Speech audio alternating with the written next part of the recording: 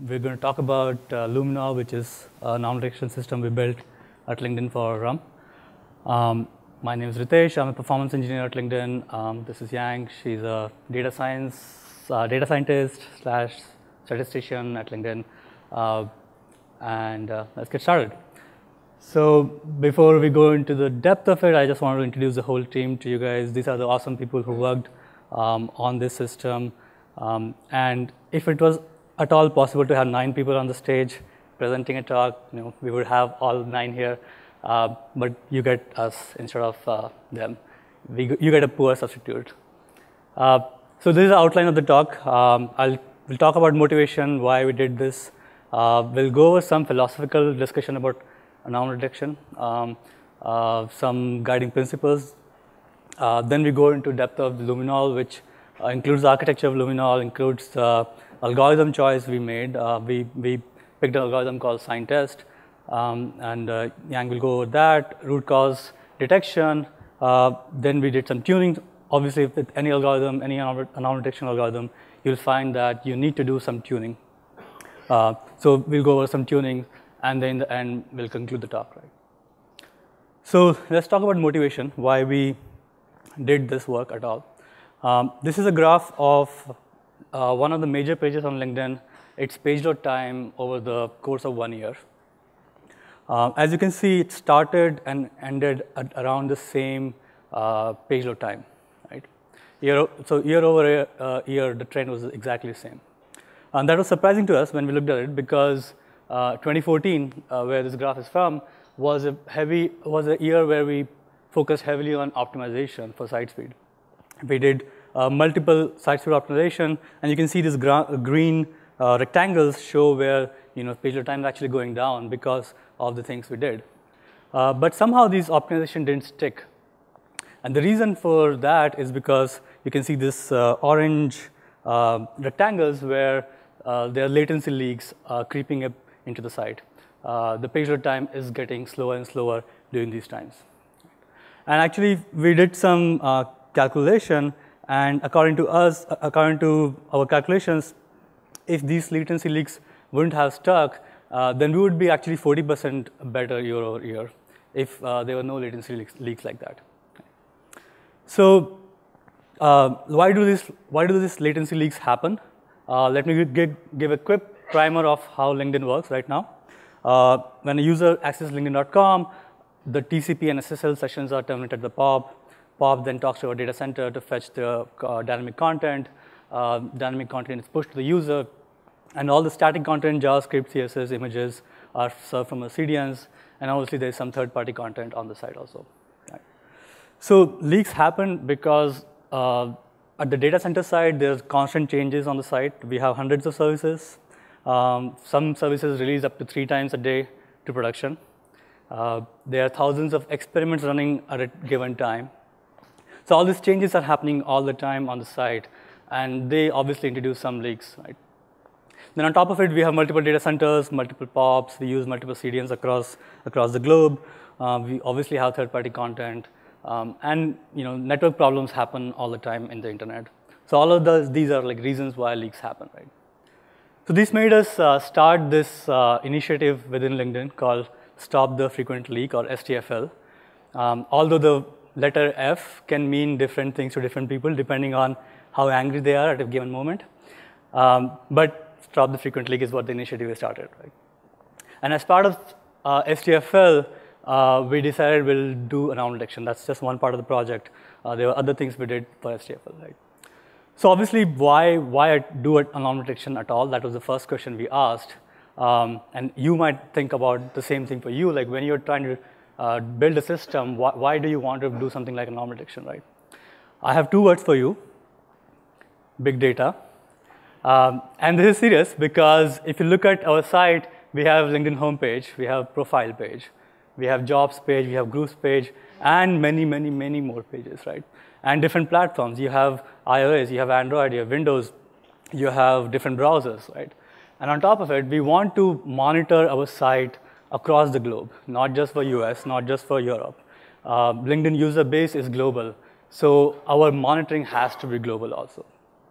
So you can clearly imagine that basic dashboarding and thresholding does not work anymore. Uh, we have a big data problem here. We have a lot of dashboards, a lot of metrics, and our users expect a lot. Yeah, our users expect our site to be functional, site to be fast, site to be performant, right? So we have this nice big data problem, and anomaly detection is a good solution to do that. So let's start with uh, uh, some philosophical discussion about anomaly detection uh, and some guiding principles that we, we decided to follow. Uh, so one of the main guiding principles we decided is important for us is to avoid this alert black hole problem. Right? Uh, this is a dreaded problem for any, anybody who builds a monitoring system. Uh, and what it means is you start sending alerts to your users, and users get annoyed because you're sending too many things.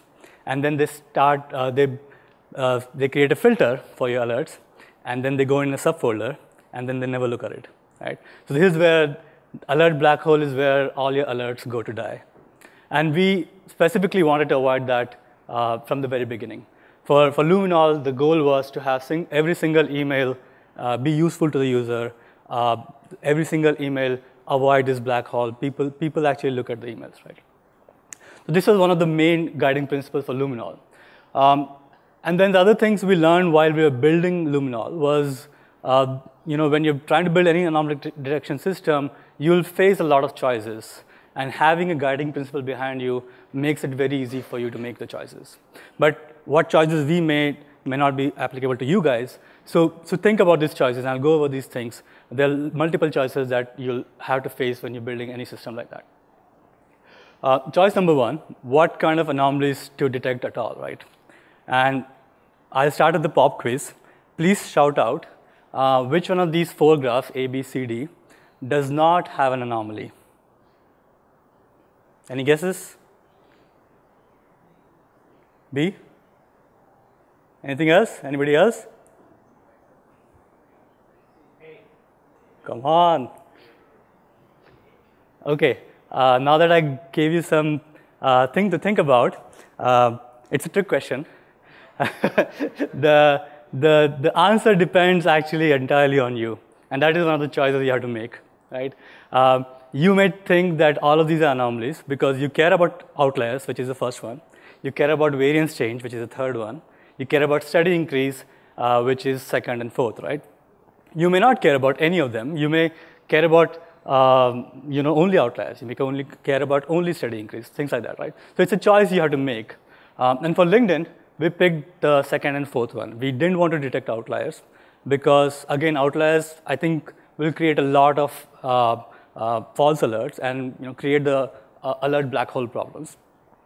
we specifically wanted to do second and third, second and fourth, but also even then, even then, even when there is a sustained increase, it has to be sustained enough for a long period of time before we generate an alert. And that's the choice we made. Second choice is uh, what do you optimize your algorithm for? And this is an interesting uh, problem for anybody who is a data scientist or statistician, they'll, they'll know that right away. But for performance engineers like us, it took, us, uh, it took me a while to uh, realize this, right? So imagine that uh, this square is a space of all the anomalies, right? Um, and based on the anomaly type you, did, you decided to pick in the first choice, uh, the red circle in between is the true anomalies that you want to detect.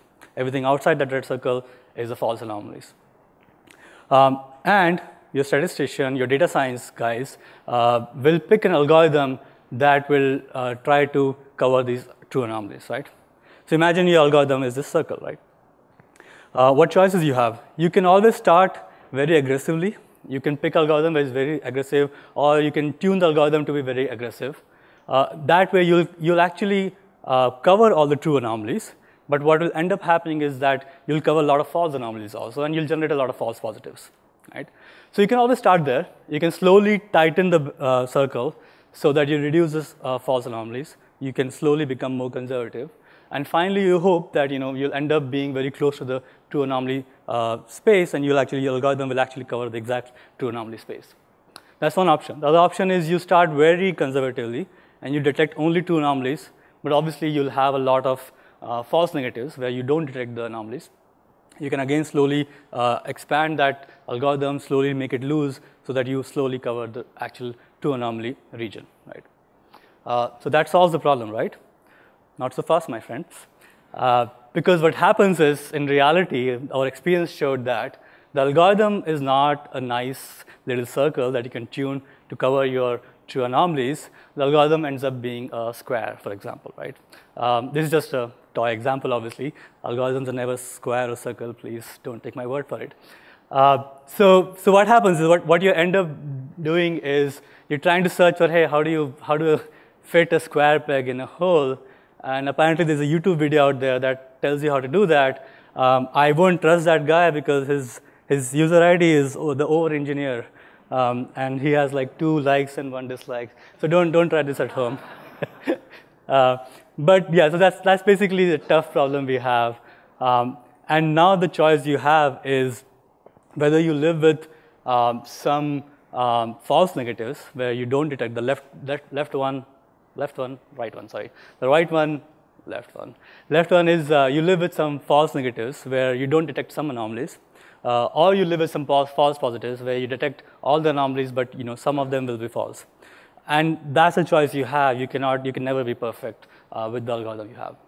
So for LinkedIn, again, uh, we wanted to avoid the black hole, alert black hole. So we detected, uh, we, uh, we decided to live with some false negatives. That means we will miss some real anomalies, but we really, really didn't want to generate false positives. We didn't want to generate bad emails for our users to uh, get annoyed with. And think, if you think about it, like it's still better than what we are, what we were a year back or two years back, because at that time we were not generating we are not detecting any of these anomalies. So at least still, uh, still a better place to be in. Finally, what metrics to do, do anomaly detection on? There are two choices, I think, in my mind, uh, business metrics and operational metrics. Your business metrics are page views, engagement from the client-side metrics. You have your operational metrics, which are server latencies, CPUs, uh, GC, and all these things, right? Um, and obviously, there are different dimensions for these metrics. You get uh, country, client type, user type uh, on the business metrics, but you get services, machines, uh, data centers on the operational metrics. Uh, by the way, uh, we'll tweet the slides in the end, so if you guys are interested in details, uh, feel free to take a look at them after the, after the talk. Uh, this other, other part of picking the metric is how do you get to the root cause? Uh, with the business metrics, obviously you start from top. You detect the business problem, the business metric has an issue. Then you go bottom, uh, go towards the bottom, figure out which service has a problem, which machine has a problem, and things like that, right? Uh, for operational metrics, it's bottom up. You have a lot of alerts, and you somehow combine them together to give you a good root cause for an anomaly, right? Uh, and the quality is you'll have less signal, but obviously less noise in business metrics. Uh, for operational metrics, you'll have more signal, but also more noise. Um, you guys know we picked RUM, uh, and we picked RUM because, uh, at least for me, again, alert black hole problem was a big problem. I didn't want, we didn't want to generate a lot of alerts. Um, and I think it's a good trade-off to have a little bit more a tougher problem to get to the root cause, but have a much cleaner anomaly detection solution.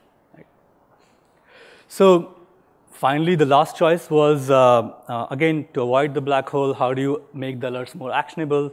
Uh, I think we followed three philosophies. You need to send the alert with the right information to the right people uh, at the right time. And what that means for us is the right information is try to give the user as much as root cause as possible, right? Try to do a great job as finding the root cause. If you can find the right root cause, that's great. But at least if you can point the user in the right direction to root cause, that's, the, that's a good place to be in.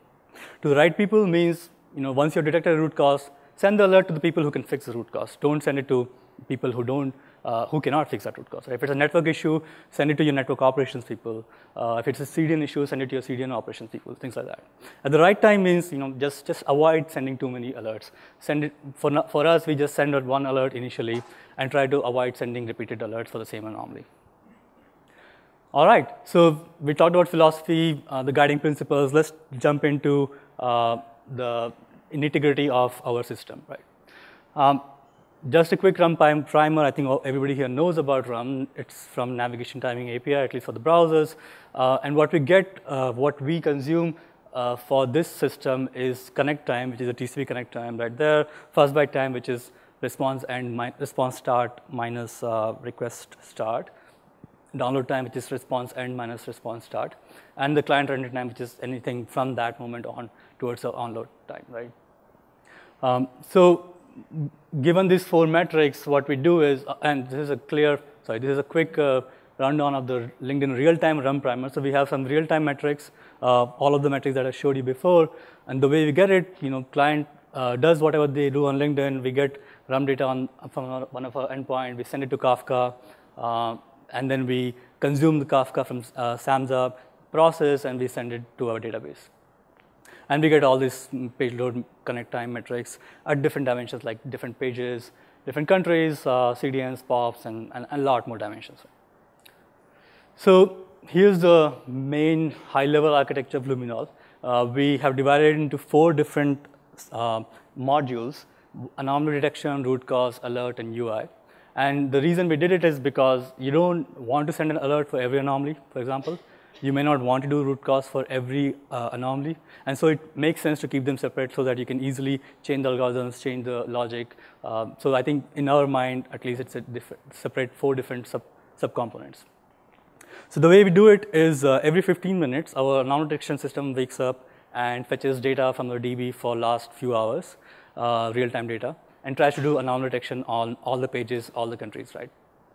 And let's say it detected an anomaly, then the data is sent to the root cause module. Uh, it will look at the list of anomalies for this particular moment and try to find the root cause as much as possible. Uh, then we send an alert. We, based on root cause, we, define, we de decide who is the right person to send the alert to, uh, and, the alert module does that.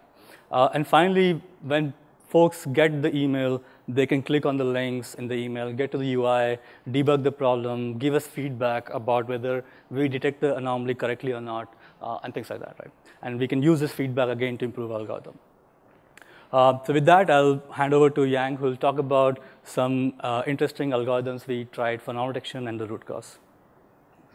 Um, so I'm not going to talk a little bit more details about anomaly detection and the root cause module in Luminol. So we just wanted to get, kind of give you some intuition why we do it. Of course, there's no standard way to do anomaly detection, uh, like Ritesh mentioned, is actually a lot of choice you need to make uh, to actually make it tailored for your purpose. Uh, so the purpose of anomaly detection, of course, is trying to find out where the anomaly is. Actually, it is fairly easy to do that if we just do eye check. So when you see the uh, metric plot, it is fairly easy to figure out whether this is an anomaly you care about or not, right? Uh, however, things are not so easy once we have thousands of metric to monitor, and we cannot do eye check on every one of them. So it's not a good use of our time. So what we want to do here is basically want to have something automated and to tell us whether this is an anomaly we care about or not. And that's the hard part.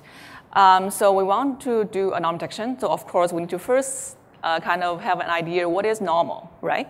So if I just give you this uh, red kind of solid line here for a particular latency metric, you probably have no idea where the anomaly is. You can just guess. But if I give you kind of a, kind of a baseline to compare against, then we have a better idea. So for latency, uh, we know that it will have a pretty strong daily and weekly pattern because latency is highly related with site traffic changes. So that's what we use as the baseline for Luminol. And then uh, with comparison to the baseline, we can start to see that uh, some of the anomaly, that's the things we care about, some of those that we don't care about. So we care about sustained uh, latency increase, and we don't want to get something like outliers. So in order to do that, we know uh, from actually from practice, we know that thresholding does not help because if people uh, in industry usually think about using threshold to do anomaly detection. That's, uh, that's the easiest way to do it. But we find it is not uh, actually working for our cases. Because if you want to do detection using thresholding, you're going to get something we don't want to detect here because there are a lot of noise over there. And if you set 10% threshold, then you're going to find some anomaly over there but you're going to miss the one we care about in the shaded area because it doesn't have maybe 10%, uh, it will not pass the 10% threshold, but it is a sustained anomaly we wanted to know. So uh, that is kind of in, uh, motivation why we didn't choose thresholding, but we pick sign test. That's the thing we use here. Um, let's just look at, go through a simple toy example to see why we make the choice we make. So we have the baseline uh, for our particular metric like uh, uh, page, page load time. And then we have observation like the yellow line here. Do you think this is the anomaly we care about or not? So we, we don't care about outline. So because here we only have one point here, so it's not the things we care about. And for the red one, it's a little bit different because we see a sustained kind of um, increase in latency, and that is the case we want to detect. So how can we distinguish these two observation uh, time series here? So we, we know that if we find the observation is consistently higher than the baseline, then that is something we care about. So how can we capture that uh, in a more quantitative way? So we, a simple intuition is just look at how many points uh, for our observation is above the baseline. So for the yellow one, it's about 4 over 10, so it's close to 0.5. And for the yellow one, it's actually 10 over, uh, 8 over 10, which is point A. We can see it's much bigger than 0.5. So this is one simple rules we can apply in our cases. So just to see whether this curve will give us something like, uh, if you look at compare your observation and compare your baseline to see how often your observation is above your baseline. If that is close to 0.5, that means it's random noise. You can just see like they're equal likely. But if it is much higher than 0.5, then you know there is something wrong with it. So we can use it to do the detection. Um, so, and sign test is exactly uh, doing the thing I just uh, described. Um, what we think, what we do here is use a very simple statistical hypothesis um, idea to test uh, the rules I just mentioned to you. Um, if you have some data background, you know like hypothesis testing is very popular and commonly used in kind of statistic uh, world. And here, sign test is just a very simple one of them, and there are many more statistical tests. So depend on what kind of anomaly you care about, you can obviously choose the one you want. Um, there is um, kind of no simple or no one anomaly uh, hypothesis test will fit for all the anomalies. So this is the one we pick because it choose it fit for our cases. Um, this, this fit because for latency, we know there is a lot of noise in it. And instead of looking at kind of average difference between baseline and uh, our observations, we usually care about median and other quantiles. So uh, in practice, actually you find out sign test is more kind of robust, so it will work better for testing uh, median difference. So that's also the reason why we pick it. Um, now I'm going to talk a little bit about sensitivity here. Uh, when I say sensitivity, actually, uh, to translate into kind of English, it basically tells you how many anomalies you're going to get, right? So you care about whether you have you want to have a lot of false failures or uh, false negatives. Then we need to be uh, very careful about the sensitivity of your test. So if your test is very sensitive, then you're going to get a lot of uh, anomalies. Uh, if your test is not that sensitive, then you get fewer anomalies, but they are kind of, you are more confident. These are the bigger ones you want to capture. So to do that, there are a couple uh, things we need to look at. One is the confidence level of your test. So here, uh, to translate to this toy example, we just tell you, here we say if 8 point over 10, they, uh, the observation is above baseline, then we say it is an anomaly. So that is, that is some kind of, that is some confidence we set. Or we can make it higher to be 9 point over 10. So we are more confident there. But you will get fewer anomaly with that particular uh, cut over there, right? Uh, for the second one, it is the window size uh, of the kind of the time series you pick. So here we only pick 10 point. If we pick, what if we pick 20 points? So once, once we have more data, actually we are more confident about, about the noise and the signal in the data. So it will also impact how sensitive your algorithm is. So we don't have time to go into the details, but if you want to know, we can talk a little bit later um, after talk about the details here. Um, another important thing is uh, anomaly severity. So when we do tests, the first two is mainly tell you how confident you are, uh, basically tell you whether we can denoise uh, from the data or things like that. But one thing we, want, we know is also important is the difference between our anomaly and the baseline. Uh, supposedly, if we have anomaly above baseline, which is uh, kind of significant, which is real, but the difference is only maybe uh, two milliseconds, that is something we don't care about in practice. So we wanted to detect some big difference. For example, if it is over 100 millisecond difference, then we know there's something wrong and we need to fix it as soon as possible. So that sets priority uh, in our work to figure out which to look at first. So for severity here, what we can do is we can set off a bunch of uh, kind of offset and threshold. Basically, instead of compare just observation is kind of bigger than your baseline, we can look at something uh, more kind of uh, here. You can look at whether your observation is um, bigger than your threshold, uh, bigger than your baseline for about 10, uh, 100 millisecond. That's also something you can test. And if your uh, data past that, then you know your anomaly actually is over 100 millisecond difference. And you know this is something you care about, and you can set priority based on that. So that is the idea here. So if you look at a plot, you can see for the uh, black line there, it is testing um, the anomaly difference, which is strictly over 100 millisecond. For the green one, it is uh, the 500 millis, uh, 5% lift difference we detect. And for, if you look at the red one, then it's more severe. It is the 200 millisecond anomaly we want to detect. So if you have these three different anomalies, you can set priority. We can first solve the red one because it has higher severity difference. And then we can work according to the priority here. So that's the use of the sensitivity. And that's can, that can tell you uh, what to work on first. Okay, so a single word about what we do anomaly detection here in Luminol. Basically, what we do is we pick a time window to figure out how many points we want to kind of uh, do the comparison. And then we do sign test. And then uh, once the anomaly is detected, then we mark the whole uh, window as anomaly. And what we do the uh, last step is trying to merge with the old anomaly because we are doing this in a, a, regular basis. So we want to merge those anomalies together, and that's how we get the shaded area here. Uh, and that's how we find anomaly we care about. Okay? So like I said, um, because we care about sustained anomalies, that's why we pick sign test.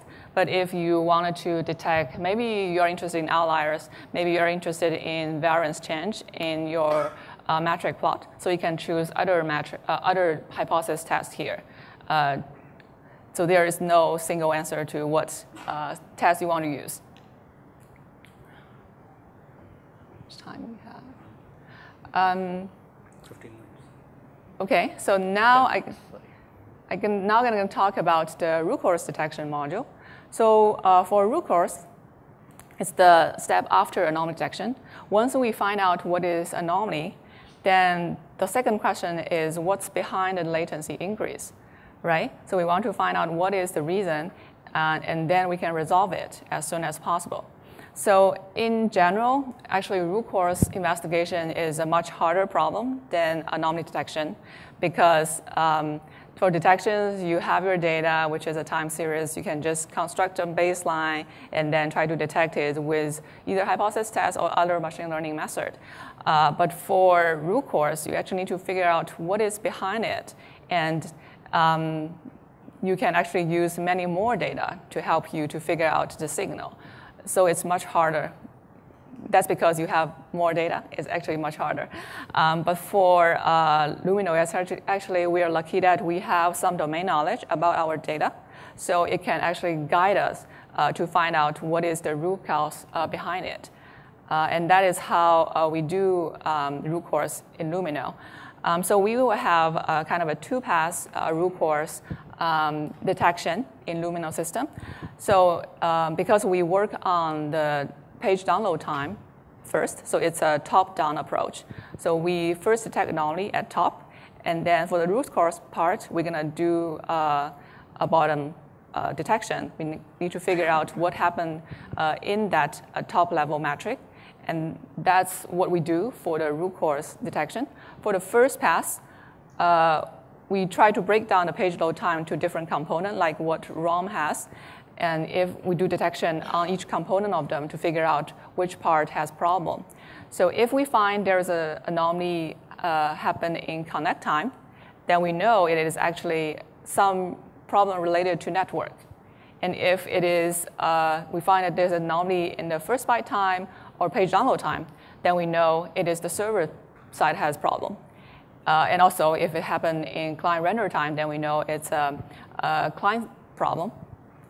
So with this particular setup, uh, we can use the same kind of anomaly detection method to detect and to tell us uh, what kind of issue it is. So if we find out uh, it is a network issue, then we can go to the second pass root cause, which tell, try to tell us which pop center actually caused that problem. And if it is a server issue, then we're trying to find out which service, which API call caused the latency increase. And if it is a client render issue, then we can try to find out whether it's related with JavaScript uh, problem or it's related with CDN. So that is uh, the second pass root cause. Uh, for us, we, um, let me touch base on what we do here.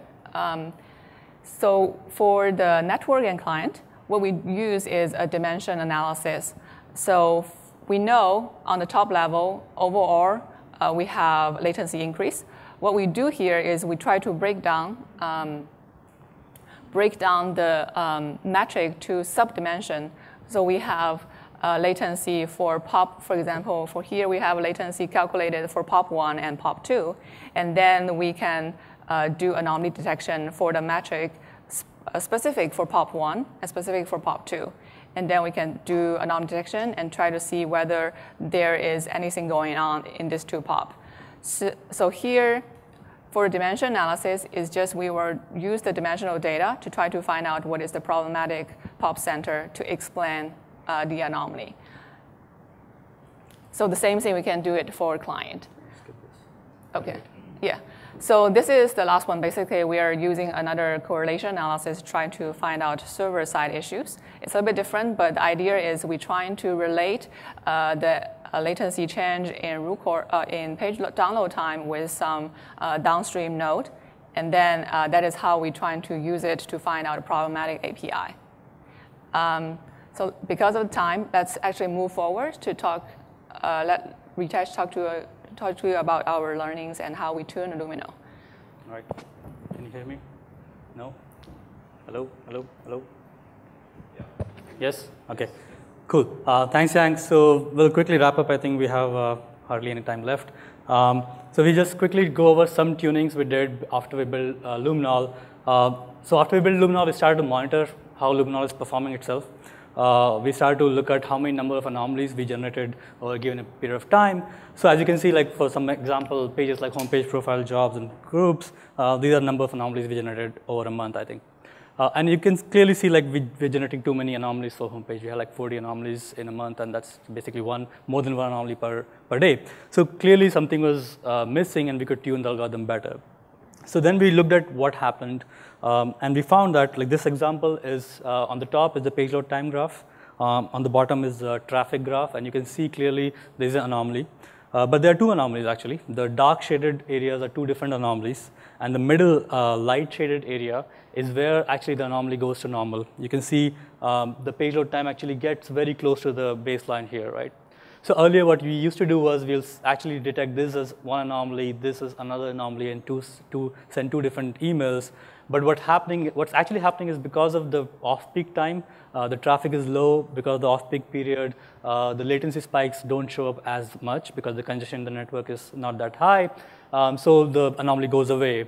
And so we basically had a simple rule that uh, we won't uh, say an anomaly is resolved until after you know 12 hours or something, uh, and we'll wait and maybe you know once the off-peak time is done, we'll see the anomalies again, and we, we can combine these two anomalies. So that's the that's the first tuning we did with, to merge anomalies. The second tuning is basically you know obvious. If you have 100 pages, not all of the pages are important. Uh, so for less important pages, we'll have higher confidence interval, 99%. Uh, so that will give us lesser anomalies. But for more important pages, we have a lower confidence interval of 95%, which means we'll get more anomalies. So because we care about the more important pages more, we can we can live with more anomalies, more alerts for the more important pages, right? And finally, we implemented a user feedback feature in Luminol uh, where users can actually mark that uh, a given anomaly, is, is it a real anomaly for, from your perspective or not? Or maybe you can just say, maybe yeah, but I don't really care about this, right? Uh, so this signal is very useful for data scientists and the algorithm because user is telling us whether it's a real anomaly, false alarm or not, right? And this can be fed back to the uh, algorithm to tune its uh, significant, uh, significance and threshold and things like that. Uh, so final version of this report was, you know, remember there were number of anomalies, but number of emails sent after this tuning was much lower. For homepage, it ended up being only 10. Um, and we also had signal about how many of them were actually false, uh, false positives, right? Um, so let's quickly go over some examples. Uh, here's an example email we send, uh, we bother our uh, users, which are the page owners. Uh, one of the pages had an anomaly in US at the 50th percentile, and we there was around 10% uh, increase in page load time, and uh, we marked the root cause as a client issue. Uh, so the user would click on the connect on the page and get to Luminol UI, uh, here, if they hover over the graph, they can see more details about the actual numbers, actual percentage, and you can clearly see there was a big jump in page load time here. And because we know the root cause is client, we actually automatically show the user the client rendering time just below the page load time, so they can actually uh, correlate with the page load time uh, uh metric, the client rendering time. And clearly here, here we could see client rendering time also spiked around the same time. Uh, and when we, then we go to the root cause, as Yang explained, we do dimension analysis. Uh, but here we looked at two different CDNs and did a dimension analysis of these two CDNs.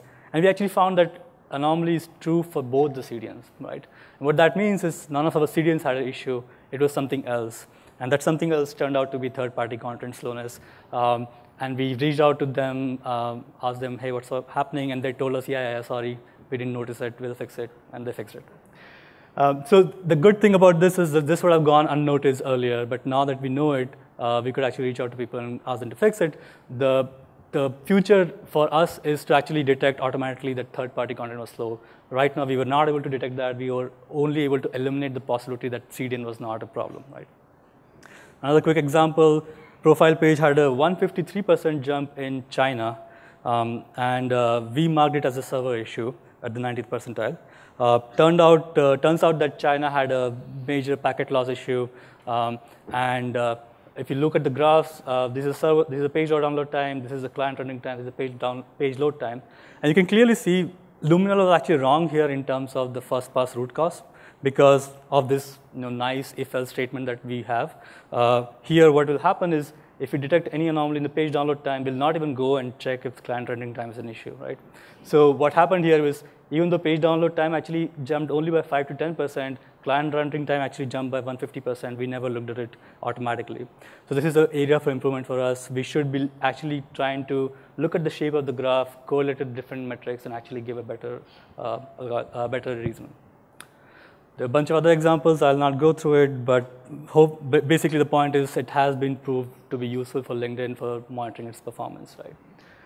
All right, let's conclude the talk. Uh, I think one of the few takeaways I want you guys to take uh, uh, home is um, if you try to build an detection system, make sure you understand your use case very well. Do you want to catch outliers? Do you want to catch sustained increase? Think about exactly what problems you want to catch.